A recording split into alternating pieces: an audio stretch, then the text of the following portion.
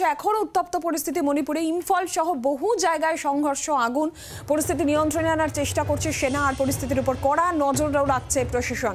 দ্রুত শান্তি ফেরানোর চেষ্টায় পুলিশ, প্রশাসন, ইম্ফল সহ বহু জায়গায় সংঘর্ষ এবং আগুনের খবর সামনে আসছে।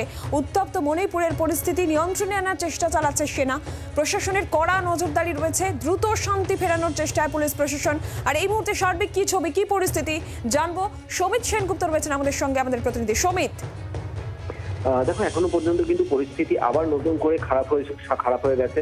এমনকি ইম্ফল শহরে যেখানে অনেকটাই কারফিউতে ছাড় দেওয়া হচ্ছিল প্রায় বিকেল পর্যন্ত, সেটাও কমিয়ে আবার সকালের দিকেই শুধু কারফিউতে ছাড় দেওয়া হচ্ছে। এবং আজকে সকাল থেকে ইম্ফল শহরের বিভিন্ন জায়গায় আগুন লাগানোর ঘটনা ঘটেছে, এমনকি একজন বিধায়কের বাড়িও জ্বালিয়ে দেওয়া হয়েছে।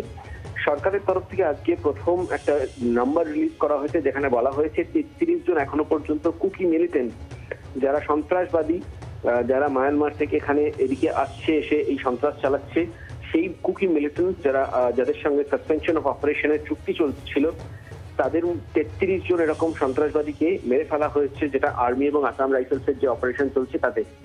যদিও সরকারের দাবি, মুখ্যমন্ত্রী দাবি করছেন, সেই সংখ্যাটা অনেকটা বেশি হতে পারে, চল্লিশের বেশি হতে পারে, কারণ অনেক ক্ষেত্রেই বডি যেগুলো রেড বডি সেগুলো নিয়ে আসা যাচ্ছে না, এবং পাহাড় এলাকায় এখনও পর্যন্ত পাহাড়ি এলাকায় এখনও পর্যন্ত কিন্তু এই মিলিটেন্টসরা তারা দখল রেখে দখল করে রেখেছে তাদের কাছে সফিস্টিকেটেড আর্মস রয়েছে অস্ত্র রয়েছে এবং যে কারণে সেনাবাহিনীর কাছে একদম ফ্রি হ্যান্ড নির্দেশ দেওয়া হয়েছে। গত পরশু থেকে তারা কম্বিং অপারেশন শুরু করেছে সেনাবাহিনী এবং আসাম রাইফেলসের জওয়ানরা।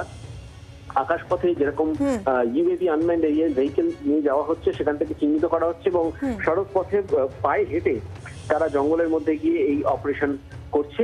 পরিস্থিতি খুব খারাপ। আগামীকাল অমিত শাহ আসছেন চার দিন আহ, তিনি এখানে থাকবেন যাতে পরিস্থিতি দ্রুত নিয়ন্ত্রণে আসে কেন্দ্রের। কারণ যেহেতু পুরো আইন শৃঙ্খলার ব্যবস্থাটা পুরোটাই দ্রুত শান্তি ফেরানোর চেষ্টা এই মুহূর্তে একমাত্র লক্ষ্য পুলিশ প্রশাসনের। নজর রাখো সমিত।